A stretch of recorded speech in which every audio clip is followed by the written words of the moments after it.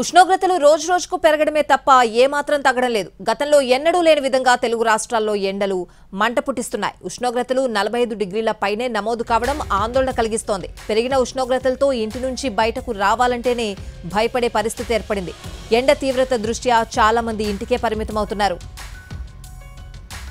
తెలుగు రాష్ట్రాల్లో సగటు ఉష్ణోగ్రతలు నలభై ఆరు డిగ్రీలకు చేరువలో నమోదవుతున్నాయి ఏపీ తెలంగాణలో ఈ వారం ఉష్ణోగ్రతలు నలభై ఆరు డిగ్రీలను దాటేయనున్నాయి ఉదయం ఏడు దాటితే చాలు సూర్యుడు నిప్పులు కక్కుతున్నాడు నిన్న నంద్యాల జిల్లా నందికొట్కూరు కడప జిల్లా చాపాడులలో ఏకంగా నలభై ఆరు డిగ్రీల టెంపరేచర్స్ రికార్డ్ అయ్యాయి ఇవాళ కూడా నలభై ఏడు మండలాల్లో తీవ్ర వడగాల్పులు నూట యాభై ఒక్క మండలాల్లో వడగాల్పులు వీచే అవకాశం ఉందని విపత్తుల సంస్థ అధికారులు చెప్తున్నారు